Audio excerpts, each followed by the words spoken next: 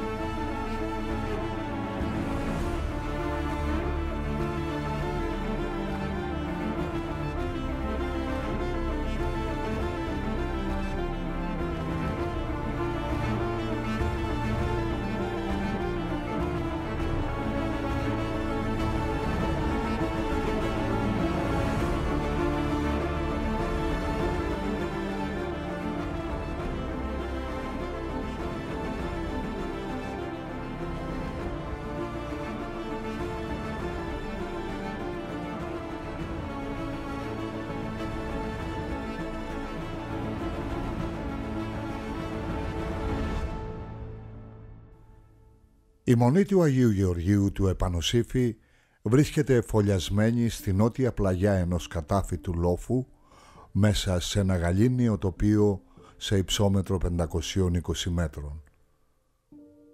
Το μοναστήρι είναι ιδιόρυθμο και υπάγεται στην Ιερά Αρχιεπισκοπή Κρήτης. Τα μοναστήρια διακρίνονται σε κοινοβιακά και ιδιόρυθμα, που σημαίνει ότι στα κοινοβιακά οι μοναχοί ζουν όλοι μαζί.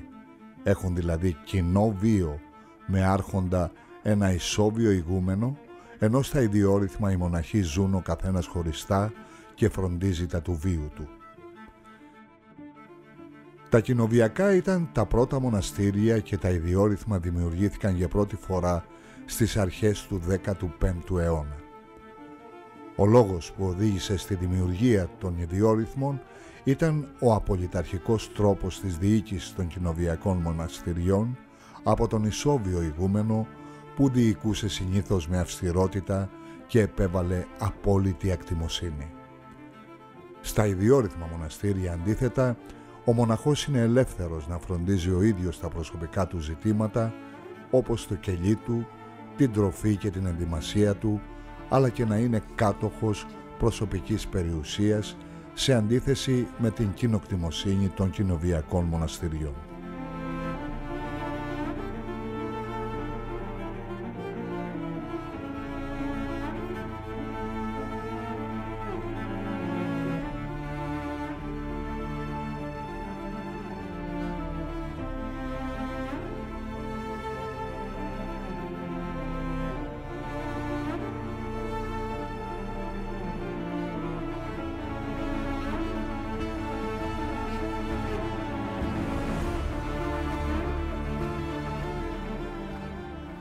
Το κτηριακό συγκρότημα της Μονής Επανοσύφη αναπτύσσεται σε δύο επίπεδα.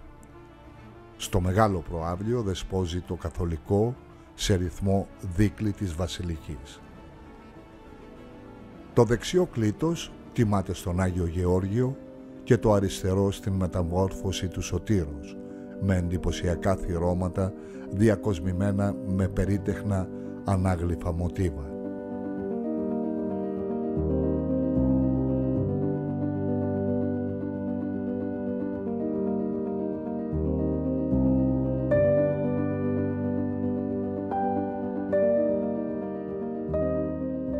Ο σημερινός ναός θεμελιώθηκε στις 5 Μαρτίου 1861 στη θέση παλαιότερου ναού που είχε καταστραφεί στο μεγάλο σεισμό του 1856 και αποπερατώθηκε στις 22 Απριλίου 1863 επί ηγουμένου Άνθιμου Σαραντινού και είναι ο τρίτος κατά σειρά μετά τις καταστροφές των προηγούμενων ναών.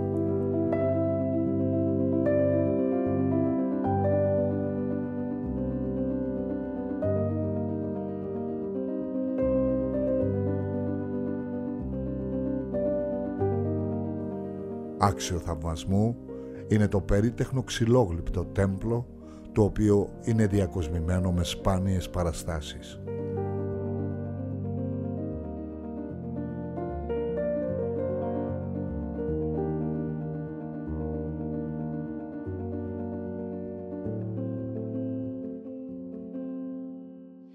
Η εικόνα αυτή είναι η θαυματουργός εικόνα, η εφαίστηση εικόνα της Μονής ε, και χρονολογείται περίπου το 1617.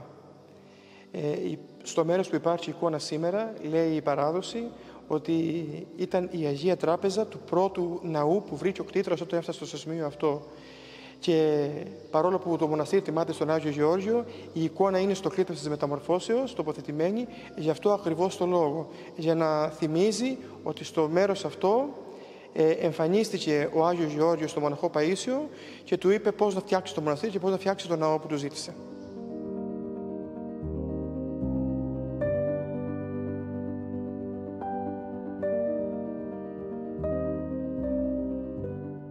Το μοναστήρι στην ιδιοκτησία του έχει και μικρότερα εξαρτήματα μετόχια, όπως ονομάζονται. Μεταξύ αυτών έχει ένα μετόχι στην επαρχία Μεραμβέλου, που είναι αφαιρεμένος στον Άγιο Γεώργιο των ξερών ξύλων. Η εικόνα αυτή του Αγίου Γεωργίου προέρχεται από εκεί και την έχουμε εδώ για να την προφυλάσσουμε. Και μάλιστα λένε οι παλαιότεροι πατέρες ότι όταν ήταν εκεί στο μετόχι, όταν έσβε το καντήλι που έκαιγε πάνω του μπροστά στην εικόνα, χτυπούσε η εικόνα και ειδοποιούσε έτσι τον οικονόμο, ούτως ώστε να ανάψει το καντήλι του Αγίου να μην είναι ποτέ σβηστό. Και από τότε μέχρι σήμερα προσπαθούμε και εμείς πάντοτε το καντήλι μπροστά στην εικόνα του να είναι αναμένο.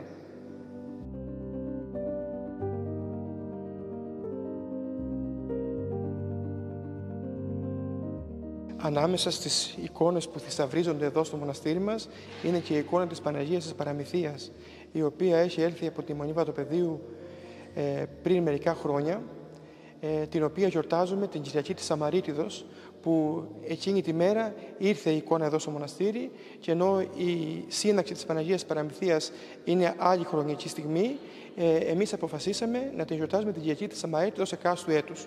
Το μοναστήρι συνδεόταν με τη Μονή Βατοπεδίου, διότι την περίοδο της Πανόλης, όπου είχαν ζητήσει τότε να φέρουν την τιμία ζώνη και την περιέφερα σε όλη την Κρήτη για να θεραπεύονται οι άνθρωποι από αυτή την αρρώστια, ε, φιλοξενήθηκε όταν ξέσπασε η Επανάσταση, φιλοξενήθηκε αρκετά χρόνια εδώ στο μοναστήρι μας. Γι' αυτό και στα αρχαία χειρόγραφα, ιδιαίτερα στο χειρόγραφο που είναι γραμμένη η παράκληση στον Άγιο Γεώργιο, μέσα στα μεγαλινάρια υπάρχει το μεγαλινάριο της τιμίας ζώνης, και μάλιστα υπήρχε αυτή η απορία γιατί να υπάρχει και συνδέεται έτσι το μοναστήρι με τη Μονή Πρωτοπεδίου.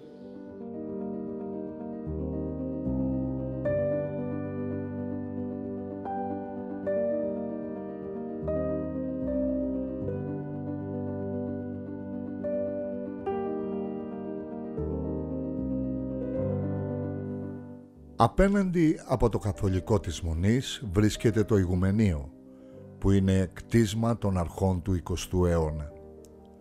Στη νότια πλευρά, σε ειδικά διαμορφωμένη διόροφη πτέρυγα, βρίσκεται το Εκκλησιαστικό Μουσείο της Μονής και η βιβλιοθήκη όπου φυλάσσονται πολύτιμα κοιμήλια όπως σταυρή αργυρόδετη με ξυλόγλυπτες παραστάσεις, ένα αργυρόδη σκοπότηρο του 1842, ένα άλλο χρυσοπίκυλτο, άμφια και μερικά μέρη της παλιάς εκκλησίας του Αγίου Γεωργίου. Εδώ φυλάσσονται επίσης τα άμφια και τα προσωπικά αντικείμενα του πρώτου Αρχιεπισκόπου Κρήτης Ευγένιου Ψαλιδάκη και ο Ανδριάντας του δεσπόζει στην αυλή της Μονής τα αποκαλυπτήρια του οποίου έκανε στις 16 Νοεμβρίου 1992 ο Οικουμενικός Πατριάρχης Κωνσταντινουπόλεως Βαρθολομαίος Πρώτος.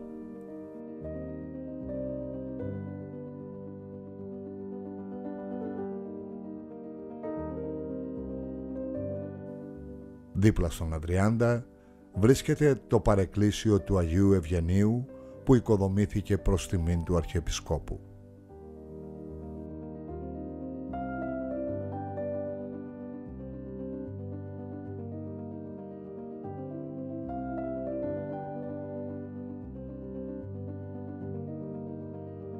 Στο μυρωμένο κήπο της Μονής βρίσκεται ο τάφος του μακαριστού Μητροπολίτη Γορτίνης και Αρκαδίας Κύριλου Κυπριωτάκη.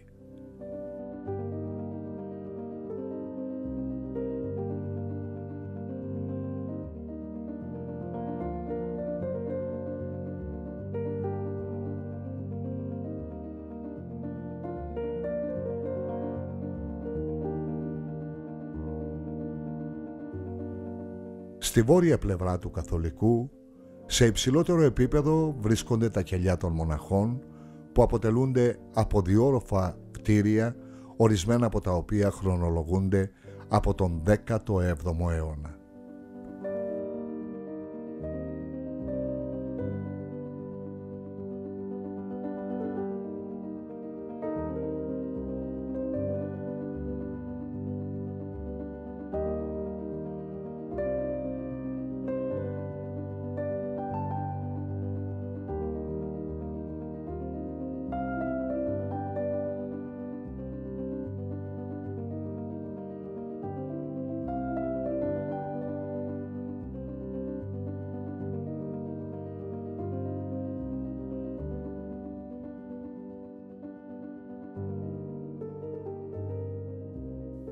Ένα από τα αξιόλογα κτίρια της Μονής είναι το επιβλητικό ηγουμενείο, το οποίο λόγω του μνημιακού του χαρακτήρα παρουσιάζει ιδιαίτερο ενδιαφέρον για την αρχιτεκτονική της Μονής αλλά και της κριτικής αστικής αρχιτεκτονικής των αρχών του 20ου αιώνα.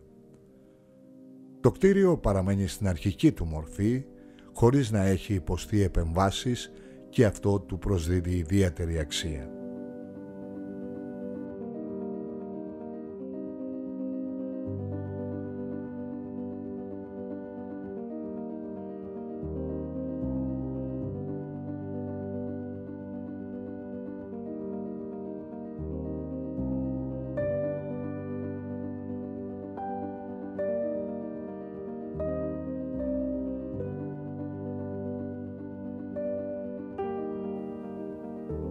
Ίδρυση της Μονής τοποθετείται γύρω στα τέλη της Ενετοκρατίας, ανάμεσα στον 15ο και 16ο αιώνα, χωρίς να είναι εξακριβωμένη η ακριβής χρονολογία. Σύμφωνα με ιστορικά στοιχεία που αναφέρονται σε χαρτό κώδικα της Μονής του 1884, τα οποία συγκέντρωσε από διηγήσεις και την παράδοση ο ιεροδιάκονος Ιάκωβος ιδρυτής της Μονής φέρεται ο μοναχός Παΐσιος, ο οποίος είχε φύγει από τη Μονή του Αγίου Αντωνίου των Απεζανών επειδή είχε προστριβές με τους άλλους μοναχούς για να πάει στη Μονή Αγκαράθου και να περάσει εκεί το υπόλοιπο της ζωής του. Νυχτώθηκε στον δρόμο και αποφάσισε να διανυκτερεύσει στο μικρό εξοκλήσι του Αγίου Γεωργίου που είχε χτίσει μέσα στο φέουδό του ο ενετός άρχοντας Λαγουβάρδος που είχε τον πύργο του στον οικισμό Λιβάδια ανατολικά της Μονής που καταστράφηκε μετά το 1671. Ο οικισμός αυτός ήταν κτήμα του Πατριαρχείου Κωνσταντινούπολεως, το οποίο ενοικίαζε σε διάφορα πρόσωπα. Το 1332 είχε ενοικιάσει το κτήμα ο Γεώργιος Νταλαπόρτα και το 1450 φέρεται ως ενοικιαστής ο Στέφανος Φωσκαρίνη. Τα τελευταία χρόνια της ενετοκρατίας η περιοχή ήταν φέουδο των Λαγουβάρδων. Εκείνη τη νύχτα που κοιμήθηκε στο εξοκλήσι ο μοναχός Παΐσιος είδε στο όνειρό του τον Άγιο Γεώργιο ο οποίος του ζήτησε να παραμείνει σε αυτό το μέρος και να το κτίσει μια νέα και μεγαλύτερη εκκλησία. Ο μοναχός Παΐσιος υπάκουσε στο θέλημα του Αγίου Γεωργίου και παρά την ηλικία του και τις δυσκολίες που είχε να αντιμετωπίσει, άρχισε το κτίσιμο της Εκκλησίας στις διαστάσεις που είχε χαράξει με θαυματουργικό τρόπο ο ίδιος ο Άγιος στο χώμα. Χωρίς να χάσει χρόνο, άρχισε την επίπονη προσπάθεια κουβαλώντας πέτρες στον ώμο του από το παρακείμενο βουνό και έχτιζε μέρα νύχτα.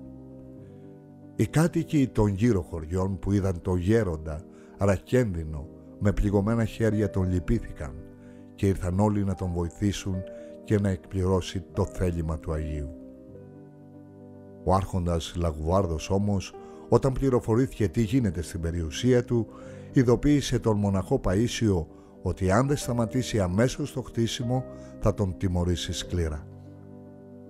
Γονατιστός και με δάκρυα στα μάτια ο μοναχός Παΐσιος προσευχήθηκε στον Άγιο Γεώργιο και εκείνος με θεία παρέμβαση έπεισε τον άρχοντα Λαγοβάρδο να αλλάξει γνώμη.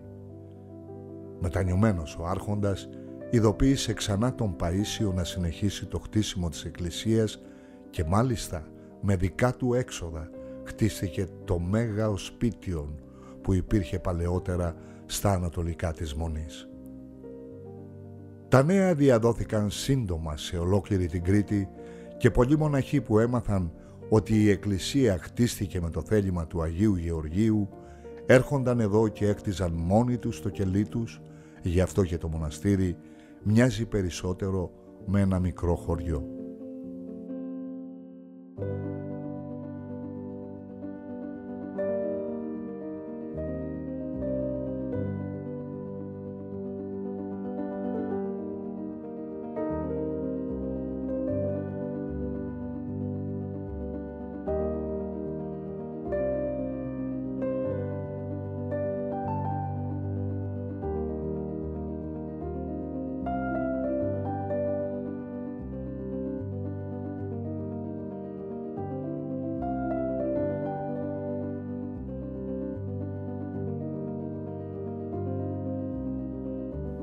Κάτω από τη μεγάλη μυρτιά που βλέπουμε στα ανατολικά της εκκλησίας λέγεται ότι βρίσκεται θαμένος ο ευσεβής μοναχός Παΐσιος.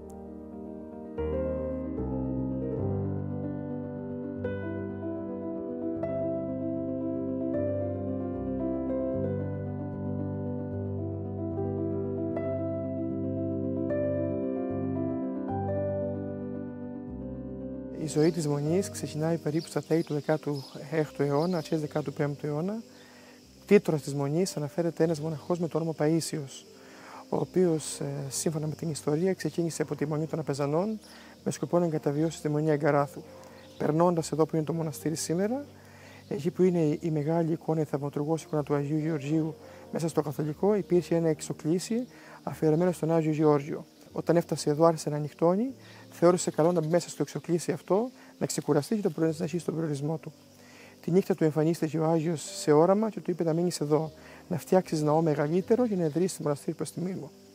Ο μοναχός αυτός δεν έδωσε πάρα πολύ σημασία στο όνειρο που είδε και το πρωί που σηκώθηκε για να φύγει, είδε ότι στο διάστημα της νύχτας που δεν υπήρχε την προηγούμενη μέρα, κάποιος του είχε σχεδιάσει τα θεμέλια του ναού. Όταν λοιπόν το είδε αυτό, πίστεψε ότι ήταν από τον Άγιο Γεώργιο για το Θεό, έμεινε εδώ και όπως ο Άγιος του υποσχέθηκε, του έστειλε ανθρώπου να τον βοηθήσουν και οικονομικά και χειρονακτικά να φτιάξει το μοναστήρι. Ο ναός, ο οποίος έκτισε ο κτήτορα, ήταν μια μονόκλητη βασιλική που από σεισμούς που έγιναν στην Κρήτη γύρω στο 1854 με 56 ε, έπαθε καθίδρυση και καταστράφηκε ολοκληρωτικά. Και έτσι το 1861 με 1863 περίπου ανοικοδομήθηκε ο ναός που υπάρχει τώρα, που είναι μια δίκαιτη βασιλική αφιερωμένη το ένα κλήτο στον Άγιο Γεώργιο και το άλλο κλήτο στη μεταμόρφωση της Σωτήρος. Στο μοναστήρι σήμερα είναι εγγεγραμμένοι 45 περίπου πατέρες, από τους οποίους 27 ζούμε καθημερινά στο μοναστήρι.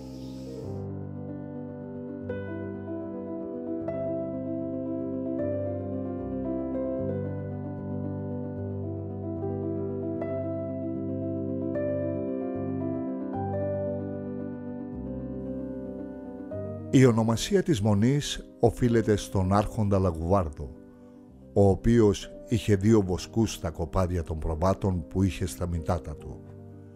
Ο ένας που ονομαζόταν Σύφης έβοσχε τα πρόβατα κάτω από το χωριό Χαράχη, όπου βρισκόταν και άλλη εκκλησία του Αγίου Γεωργίου και ο άλλος που και αυτός ονομαζόταν Σύφης στην περιοχή που βρίσκεται το μοναστήρι.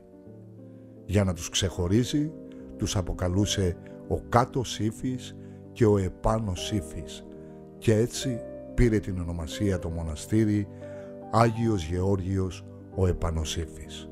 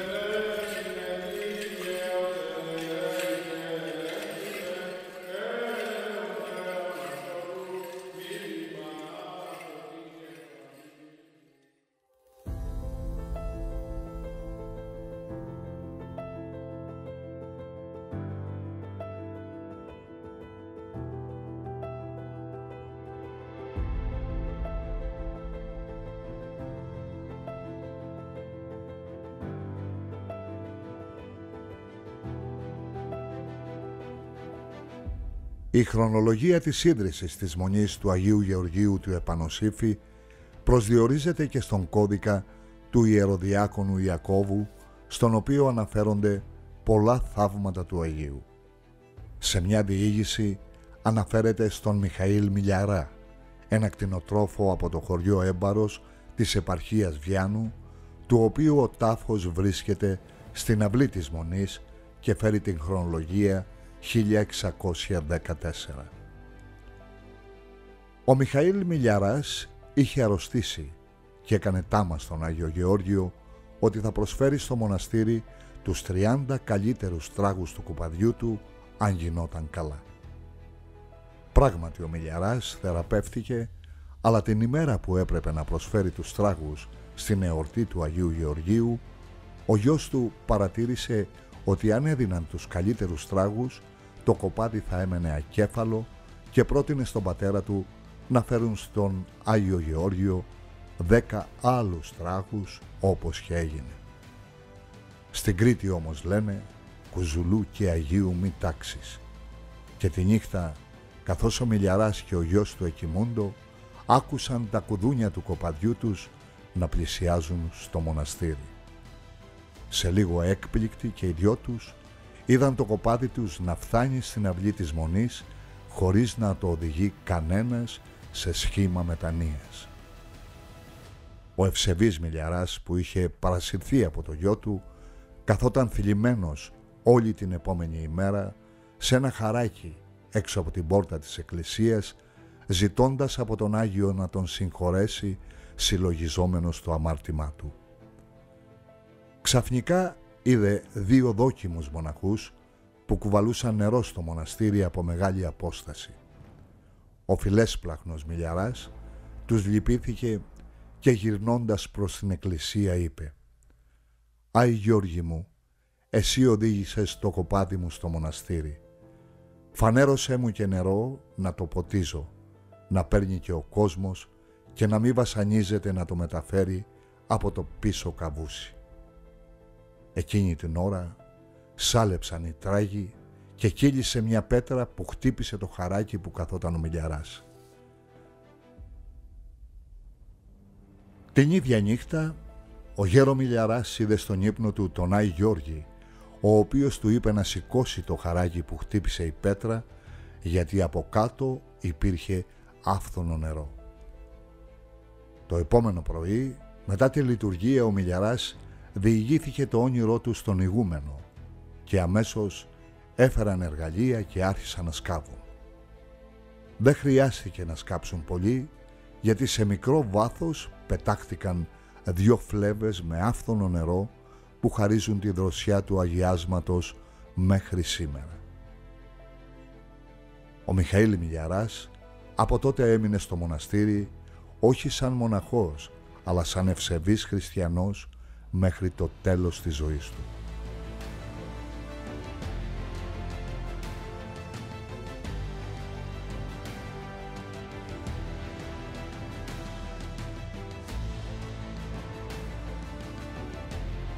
Στα χρόνια που ακολούθησαν η Μονή του Αγίου Γεωργίου του Επανοσύφη απέκτησε μεγάλη περιουσία και ένα από τα μετόχια της ήταν αυτό του Αιδινίου της Μικράς Ασίας το οποίο αποτελούσε ενδιάμεσο σταθμό για τους προσκυνητές των Αγίων Τόπων. Όπως διαπιστώνεται από το αρχείο της Δημογεροντίας του Ηρακλείου, η Μονή είχε περιουσιακά στοιχεία όχι μόνο στο Ηράκλειο, αλλά και την Ιεράπετρα, το Μεραμπέλο, το οροπέδιο του Λασιθίου, καθώς και μετόχια σε διάφορες περιοχές της Κρήτης. Το 1758 η Μονή του Αγίου Γεωργίου προσάρτησε και τη Μονή της Θεοτόκου στο χωριό Βενεράτο την οποία αναστήλωσε. Αλλά και η προσφορά της Μονής είναι μεγάλη στην ανέγερση του οικοτροφείου και του γυροκομείου του Ηρακλείου. Συνέβαλε επίσης στην ανέγερση του Μητροπολιτικού Ναού του Αγίου Μινά και των κτηρίων της Αρχιεπισκοπής.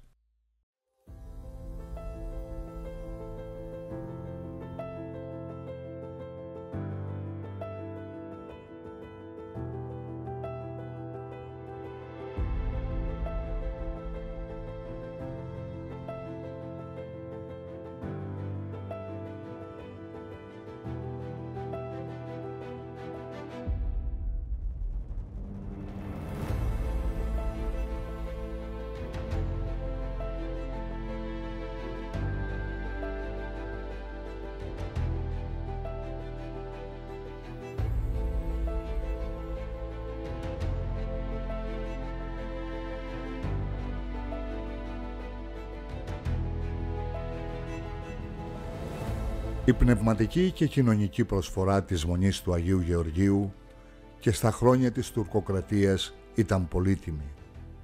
Βοηθούσε τους οδηπόρους, τους διοκόμενους και τον δοκιμαζόμενο λαό της Κρήτης.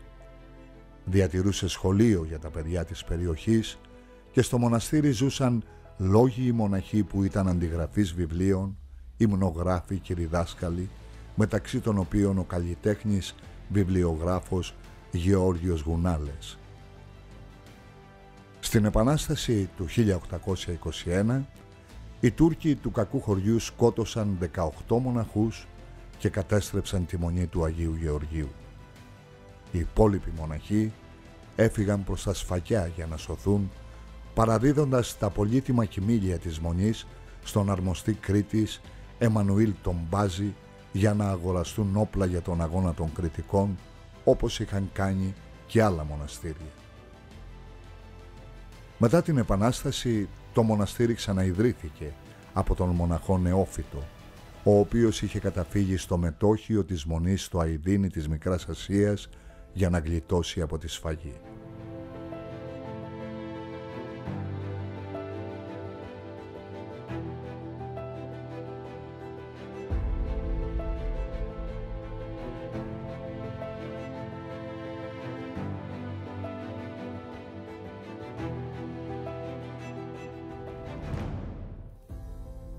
Στο μεγάλο σεισμό του 1856, το καθολικό της Μονής ερυπώθηκε για να θεμελιωθεί ξανά με φυρμάνι του Μουσταφά Ναϊλή Πασά στις 5 Μαρτίου 1861 και να αποπερατωθεί στις 22 Απριλίου 1863.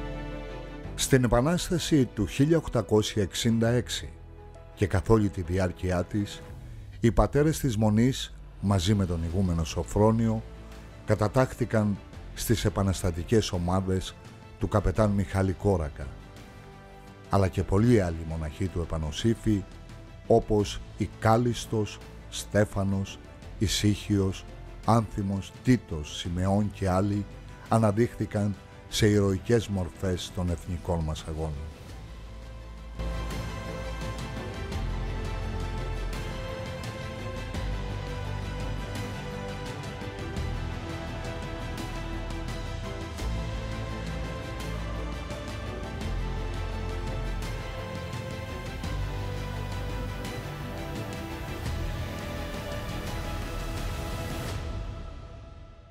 Οι πιο ηλικιωμένοι μοναχοί πήραν τα κοιμήλια και τα ιερά σκεύη και τα μετέφεραν στη Μονία Πεζανών για να τα περισσώσουν. Από τις παραμονές της Επανάστασης, η Μονή του Αγίου Γεωργίου του Επανοσύφη αποτελούσε τόπο συνάντησης των επαναστατών και όταν κάποτε πέρασε από τον Επανοσύφη ο καπετάν Μιχάλης Κόρακας με 400 άνδρες για να επιτεθεί στους Τούρκους της επαρχίας Μονοφατσίου που είχαν στρατοπεδεύσει στο Χουμέρι, οι άνδρες του έσφαξαν ζώα της Μονής και έστρωσαν τσιμπούσεις στην αίθουσα του ηγουμενίου.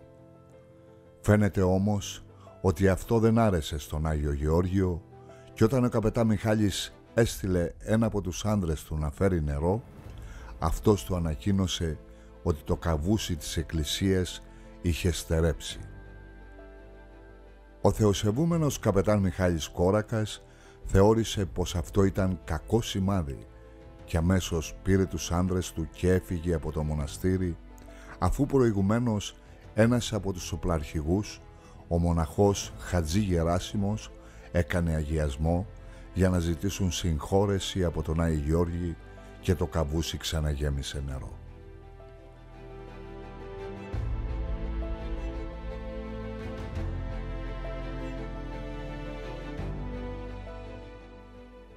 Οι πατέρες της Μονής έλαβαν μέρος και στη μάχη των Αρχανών το 1897.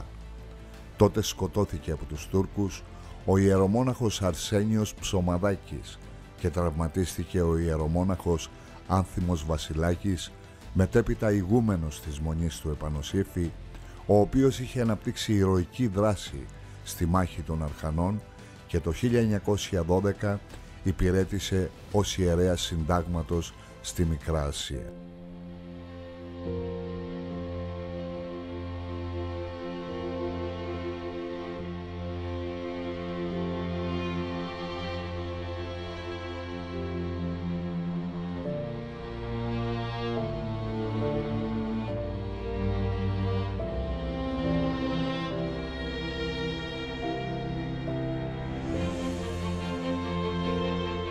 Τη μονή του Αγίου Γεωργίου του Επανοσύφη είχαν επισκεφθεί κατά καιρούς αρκετοί ξένοι περιηγητές, μεταξύ των οποίων ο Άγγλος Ρόμπερτ Πάσλεϊ, ο οποίος σχεδίασε το μοναστήρι όπως το είδε τότε. Ο ίδιος αναφέρει ότι η Μονή είχε τότε 11 μοναχούς.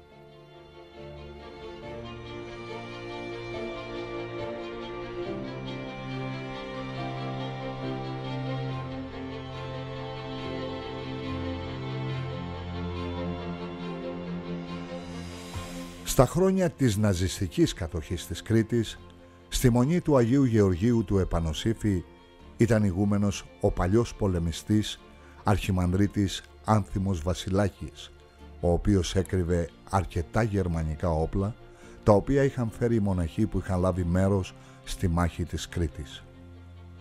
Η Κεστάπο είχε πληροφορίες για την αντιστασιακή δράση της Μονής και μετά από συνεννόηση με τον ομάρχη Εμμανουήλ Ξανθάκη στάλθηκε στη μονή ο πληροφοριοδότης των Γερμανών Μακράκης για να διαπιστώσει αν οι πληροφορίες ήταν αληθινές. Ένας πατριώτης όμως τον αναγνώρισε και τον σκότωσε. Μόλις πληροφορήθηκε τον φόνο του συνεργάτη του, ο αιμοσταγής Φραντς Σούμπερτ, που είχε διαπράξει σωρία φρικτών εγκλημάτων σε πολλά μέρη της Κρήτης, κύκλωσε το μοναστήρι και συνέλαβε τους μοναχούς Κάλιστο, Παρθένιο και Στέφανο, τους οποίους φυλάκισε στα κρατητήρια του Ηρακλείου.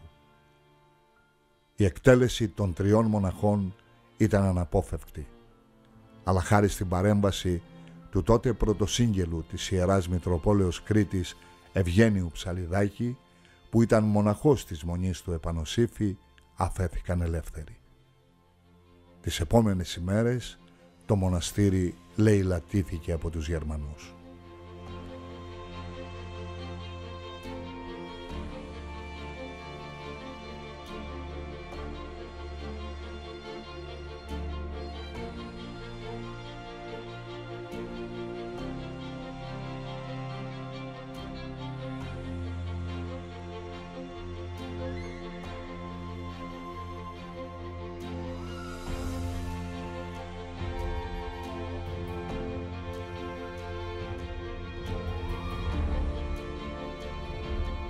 Η μονή του Αγίου Γεωργίου του Επανοσύφη, όπως και όλα τα μοναστήρια της Κρήτης, συνεχίζουν για πολλούς αιώνες την ιερή τους παράδοση.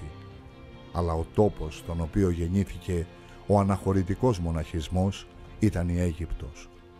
Η ηρεμία και η απομόνωση της ερήμου προσέλκυε εκείνους που διακατέχονταν από μεταφυσικές αγωνίες, μακριά από τον θόρυβο και τον έκλειτο βίο των πόλεων ιδιαίτερα από τα μέσα του τρίτου αιώνα, μετά την γενίκευση των διωγμών των χριστιανών, πολλοί βρήκαν καταφύγιο σε ερημικές τοποθεσίες. Ένα νεότερο κύμα μοναχισμού παρατηρήθηκε μετά το τέλος των διωγμών και την αναγνώριση της χριστιανικής θρησκείας. Εκείνη την περίοδο, πολλοί εθνικοί εισχώρησαν στη χριστιανική εκκλησία και η χριστιανική ζωή άρχισε να εκοσμικεύεται. Πολλοί πιστοί αντέδρασαν σε αυτή τη νέα πραγματικότητα και κατέφυγαν στην έρημο.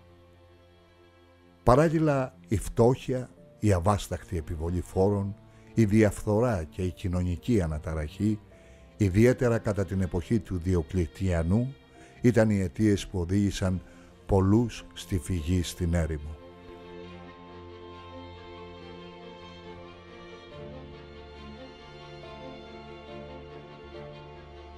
Ένας άλλος λόγος ήταν η έντονη θεσμοποίηση της Εκκλησίας η οποία περιόριζε κάθε χαρισματική τάση και γι' αυτό το λόγο πολλοί χριστιανοί αναζήτησαν ένα τοπό έκφρασης μιας πιο χαρισματικής ζωής.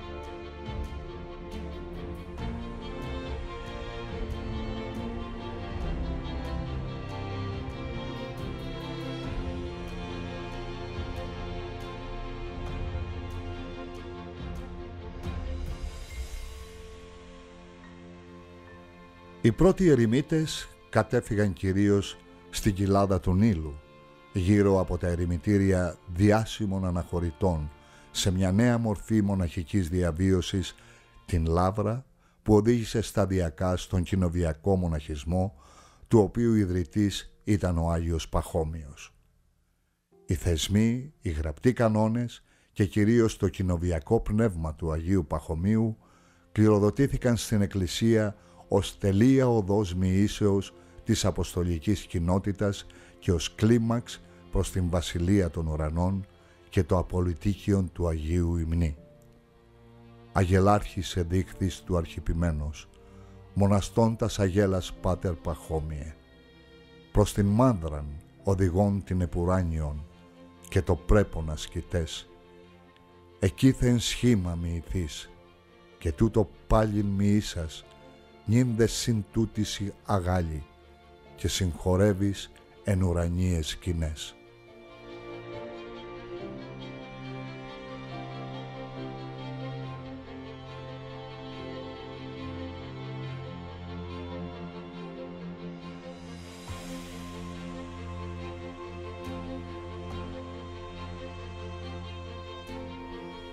Μετά την Αίγυπτο, η φλόγα του αναχωρητισμού διαδόθηκε στην Παλαιστίνη, την Συρία, πέρασε στη Μικρά Ασία και την Ελλάδα και από τα τέλη του 8ου αιώνα έχουμε τις πρώτες μαρτυρίες αναχωρητών, κυρίως το Άγιον Όρος και τα Μετέωρα. Και μέχρι σήμερα το ιερό καθήκον των μοναχών κάθε μονής που λειτουργεί σύμφωνα με τους μοναστικούς κανόνες από την Αγία Παράδοση της Εκκλησίας είναι η συνεχής λατρεία του νυμφίου της Εκκλησίας του Κυρίου ημών Ιησού Χριστού. Το έργο των αγγέλων στους ουρανούς είναι η αέναος δοξολογία του Θεού. Κατά παρόμοιο τρόπο οι μοναχοί, οι επίγειοι άγγελοι έχουν κύριο μέλημά τους την λατρεία του Θεού.